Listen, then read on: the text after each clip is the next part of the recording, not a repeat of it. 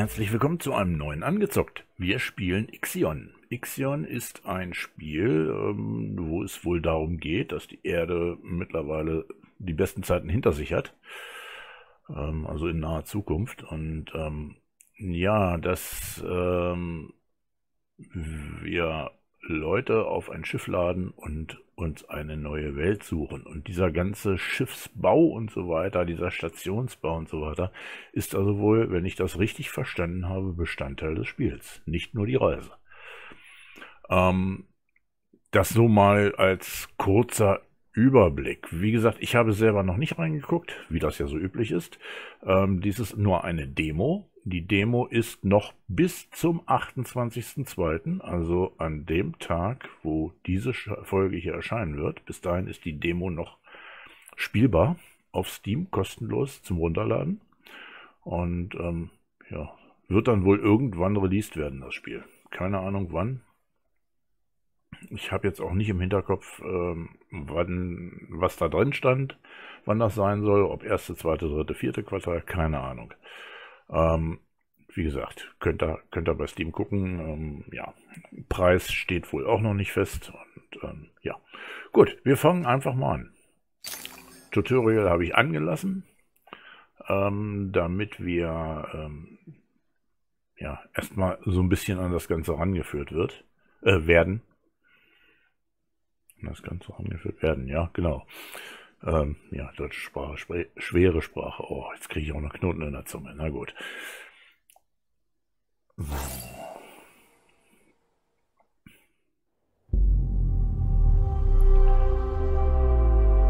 Gucken wir uns mal das Intro an. Ich halte dabei dann am besten mal die Klappe.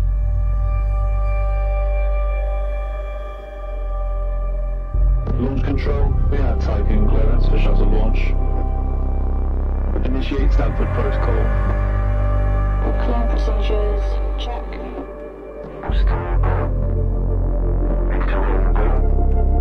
Guidance go. Okay, algorithm online. Batista safety protocol, check. Launch control to EMB Charon. All systems are go. Launch is imminent. Personnel are instructed to evacuate the launch pad.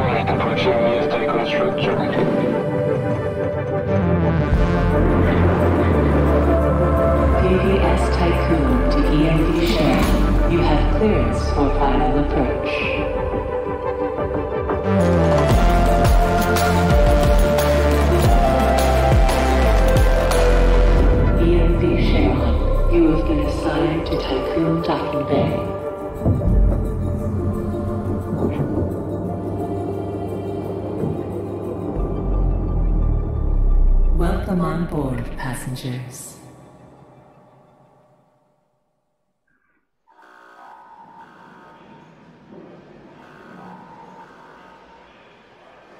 Shuttle EMV Sharon is now docked. Sector 1 empowered and pressurized. Munchie decontamination protocol online. Disembarkation authorized. Message to crew members. Welcome on board the Tycoon, property of Dolus Aerospace Engineering Corporation. You will soon be given your assignments, but until then, please continue to wait near the docking bay. We hope you have a productive voyage and would like to thank you for your contribution towards humanity's future. Administrator, I am Eden, the personal assistant installed on board the Tycoon. In accordance with the Munchie Protocol, I have been designed to take into consideration your complete psychological profile so that I may more accurately respond to any needs you may have. My primary purpose is to ensure the Tycoon's automated systems function efficiently. I will keep track of the tasks that are necessary for you to fulfill your prerogative of reaching Proxima Centauri and carrying out field research, mining operations, manufacturing protocols, and Dolos colonization tests.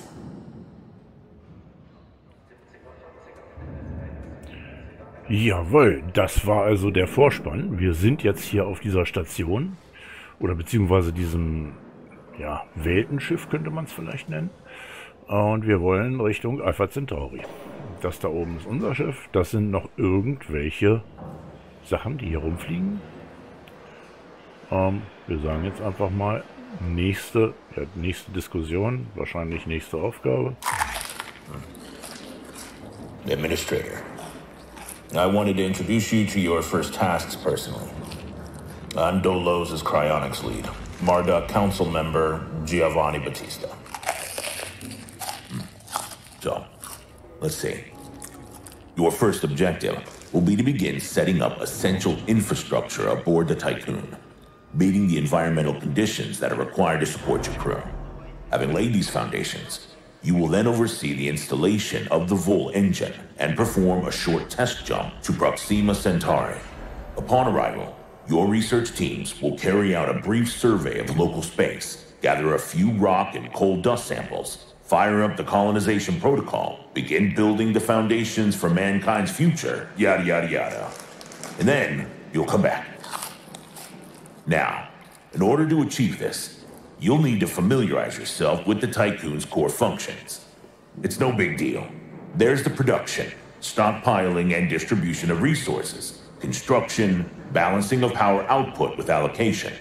Oh, and space exploration, you know, setting out expeditions and all that. Basically, everything needed to establish scientific advancement and harmonious autonomy on board the Tycoon following the first test of its Vol engine. Eden's gonna display and keep track of your main objectives. Oh, and Administrator, don't let the position go to your head. Veneer has insisted to center Dolos's focus on the Tycoon. But this mission is just in preparation for our next project, the Protagoras. The Marduk Council worked damn hard to pull this mission together ahead of schedule. So, toe the line, do as you're told, and bring the Tycoon back in one piece. Leave the grand gestures and saving of mankind from ecosystemic destruction to us, okay? One last word of advice. We don't all think like Veneer Dolos. As of yet, no human law has been officially established amongst the stars. That sounds like an opportunity knocking to me.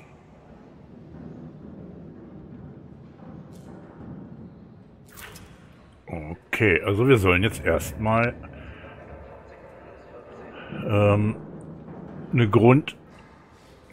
Ja, so, so, so ein Grunddingen aufbauen. Halde.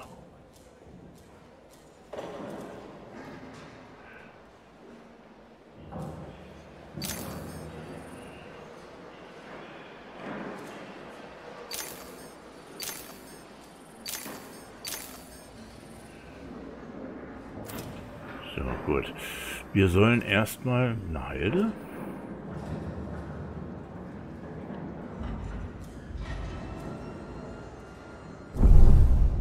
Nee, das interessiert uns noch nicht. Also, Werkstatt nicht, sondern eine Halde sollen wir bauen. Würde ich sagen. Ja, da ist wenig Platz. Machen wir mal hier eine. So, und der sagen wir dann auch, was wir einlagern sollen. Und zwar würde ich sagen, wovon haben wir viel? Von diesen, was so aussieht wie Träger. Ne? Die sollst du einlagern, genau.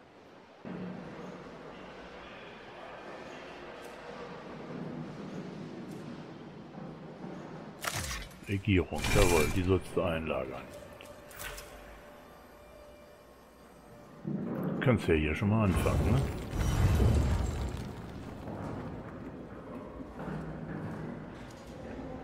So, und wie machen wir das jetzt, dass das eingelagert wird? Ach, das war falsch. Kann ich das auch wieder abreißen?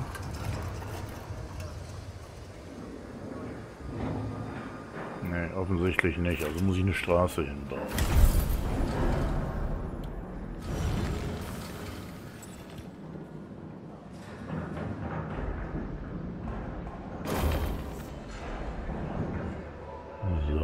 Zeit läuft.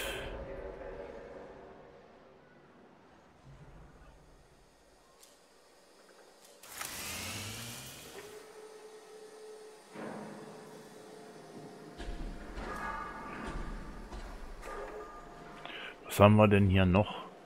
Größtenteils ist es dieses hier. Aber wir haben auch das. Dann machen wir das jetzt anders. Da lagern wir das ein. Und bauen noch so ein Lager.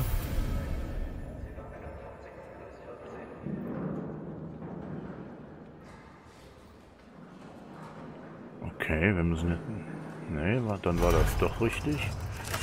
Soll die bauen.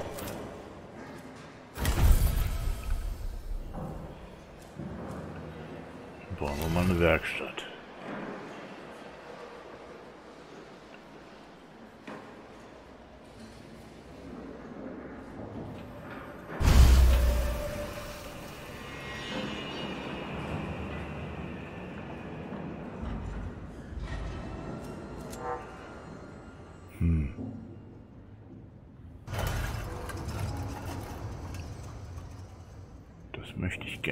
Abreißen.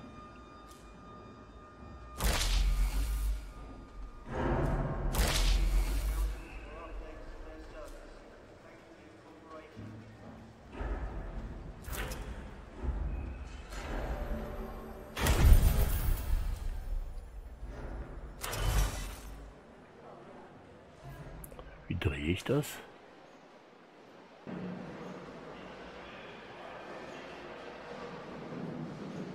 Muss ich doch da hinsetzen.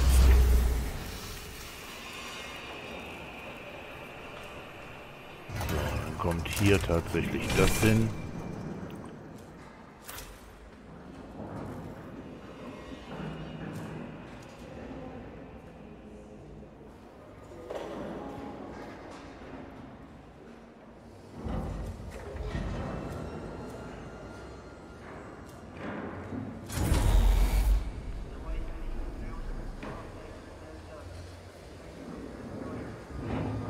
Und sind die Ressourcen ausgegangen. Das ist dumm gelaufen.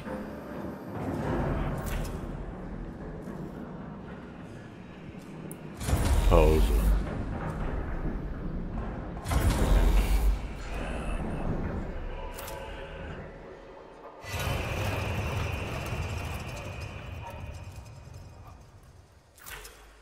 Das hier möchte ich nochmal abreißen.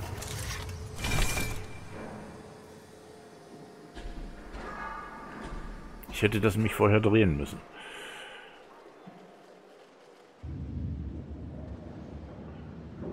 Wie reiße ich ab? Machen wir mal Pause. Ich brauche die Zeit nicht ewig verlaufen.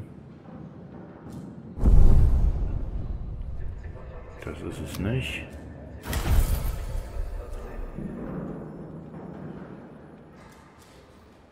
Gebäudewäschezeug. Das weg. Genau. Das auch weg.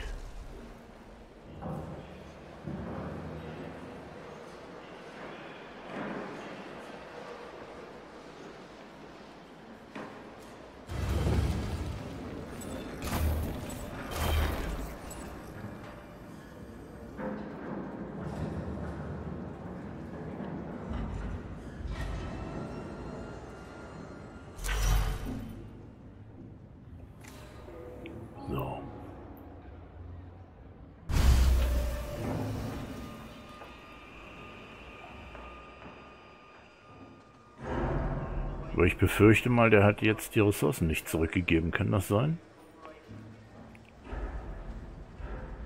Doch, das Ding ist da. Jetzt können wir ihm sagen, das sollst du einlagern. Jawohl, jetzt funktioniert's. Oh, das war jetzt aber eine schwere Geburt.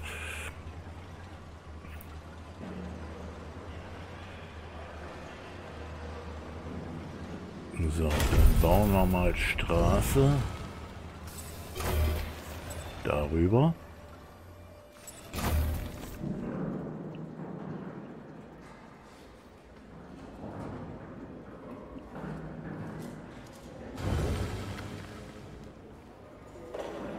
Straße wird, wird wohl gebaut.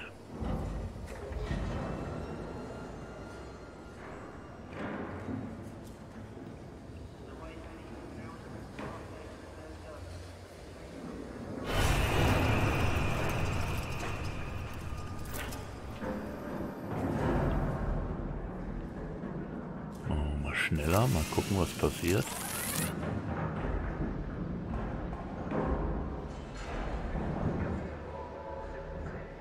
Die bauen die Straße nicht, warum nicht?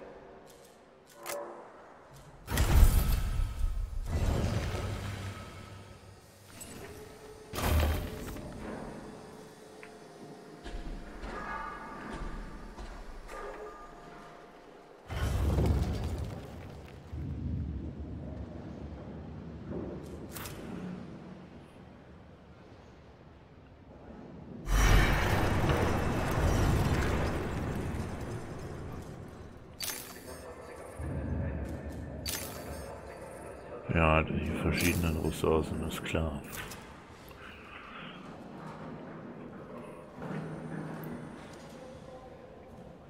Ja, dann gucken wir mal, ob wir noch ein Lager bauen können.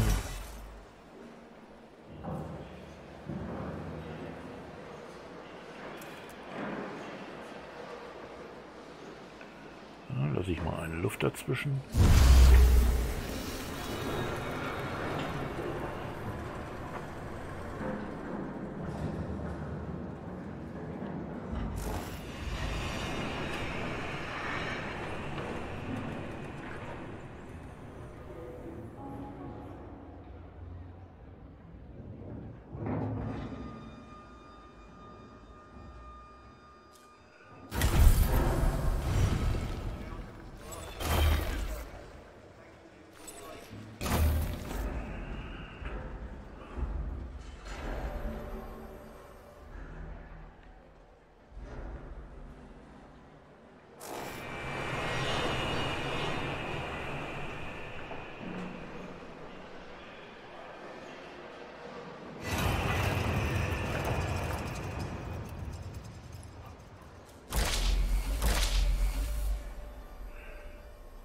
Wieso ist das jetzt nicht mit einer aktiven Werkstatt verbunden?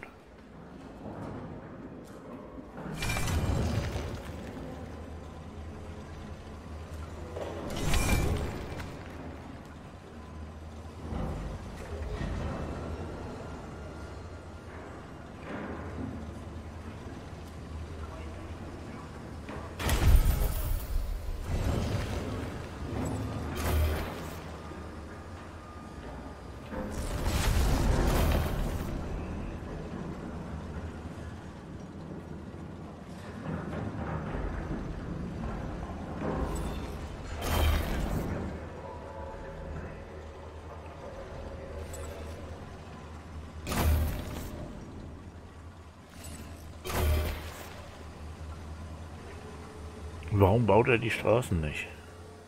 Administrator, I have established a connection with Dolus's lead data scientist, Emma Klein.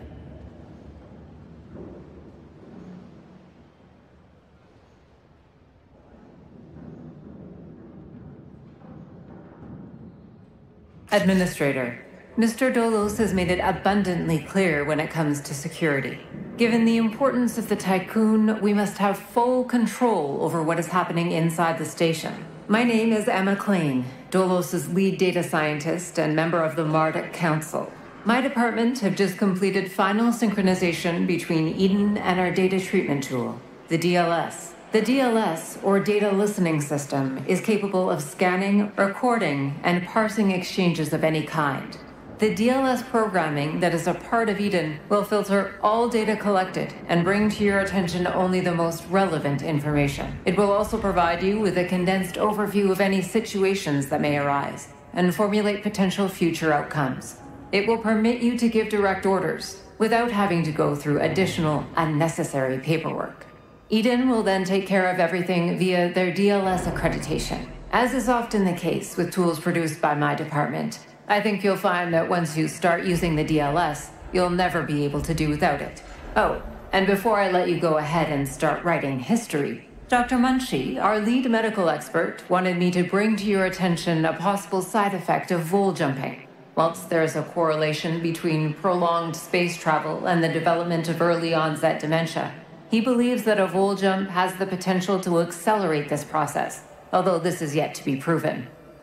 His recommendation is for you to immediately send any crew members that are exhibiting uncharacteristic or symptomatic behavior to an infirmary, as these facilities are equipped to treat the mind as well as the body. Remember that all of your actions and choices are being reported by Eden. We are not affiliated with any national or even international organization. The only people that you are answerable to are those of us who sit on the Murdoch Council, who represent the collective interests and ambitions of the company. Gut. Also, wir sollen uns jetzt auch noch um die Bedürfnisse unserer Leute kümmern.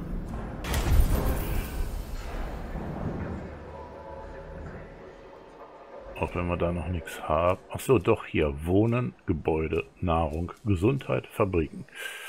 Ja, also wir können jetzt hier Lager bauen und davon brauchen wir ja insgesamt auch mehrere, wenn ich das richtig sehe. So, das hier ist fertig. Da kommt jetzt aber erstmal Lebensmittel rein.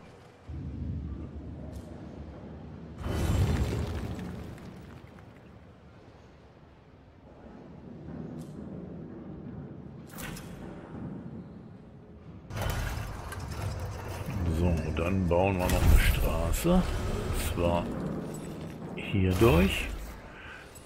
Und hier lang. Und das muss weg.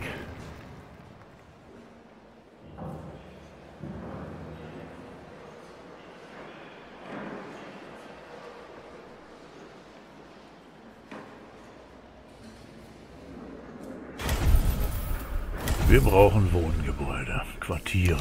Die sollten wir vielleicht nicht direkt so dran bauen, sondern die setzen wir erstmal dahin.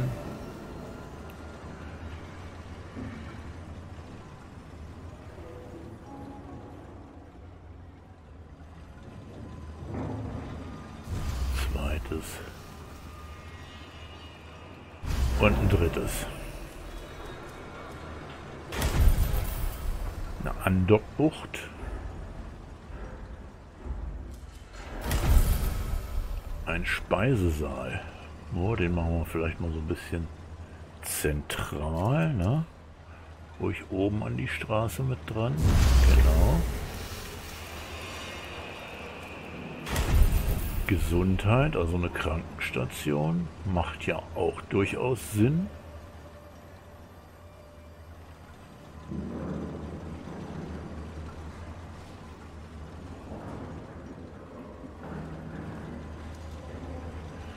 Aber dafür haben wir im Augenblick, denke ich noch keinen Platz. Wir bauen mal weiter hier die Straße. Da lang. Und da lang.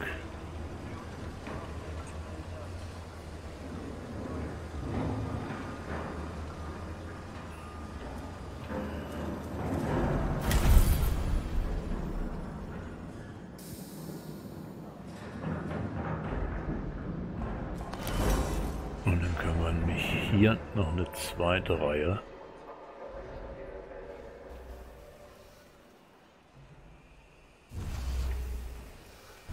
dran setzen.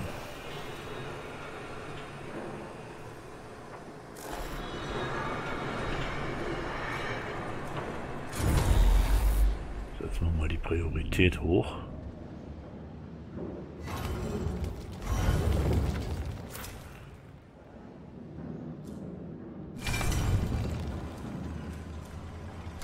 Wir müssen auf die Nahrung klicken. So läuft das. Ah, okay.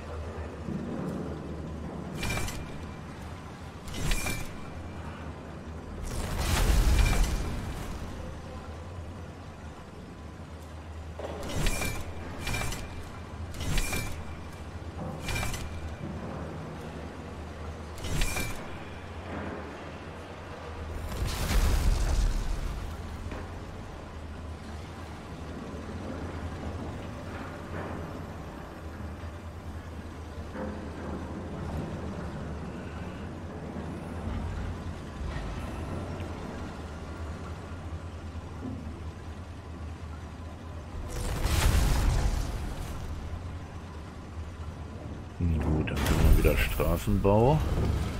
Nämlich dieses Stück hier.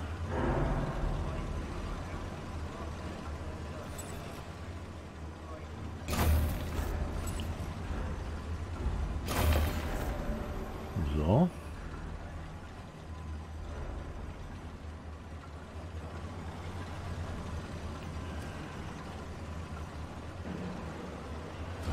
Und Straßenabriss.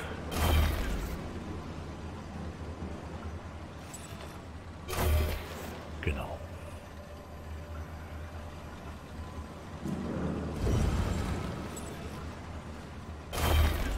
So, da bauen wir auch noch durch.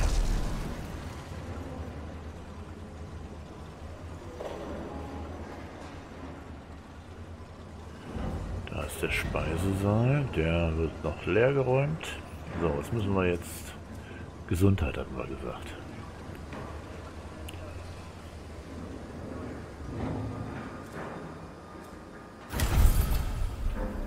Krankenstation.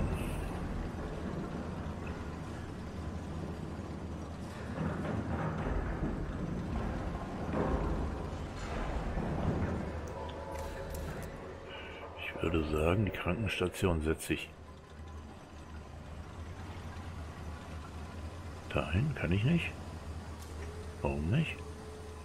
Achso, nicht genug Leute oder wie? Fabriken. Ein Techniklabor. Das ist groß. Und ich vermute mal, dass das wieder eins dieser Gebäude ist, was man an den Rand setzen muss. Ja, hier zum Beispiel. Ne, muss nicht an den Rand. Okay. Also Straßenbau.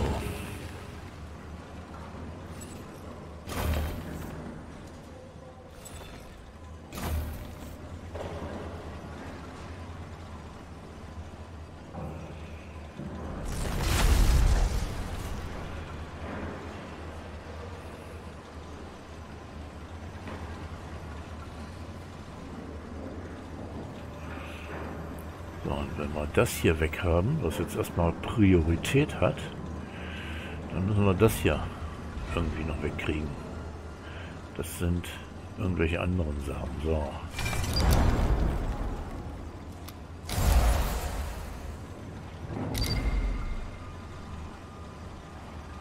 Den Speisesaal haben wir doch schon. Administrator, I have an incoming transmission from Marduk Council Member Henry Bargeville. So, aber bevor wir jetzt hier weitermachen, also wir sind am Ende dieser Folge. Schön, dass ihr da wart. Mich würde es freuen, wenn ihr beim nächsten Mal wieder mit dabei seid. Lasst einen Daumen da, einen Kommentar, vergesst das Abo nicht. Bis dann, tschüss.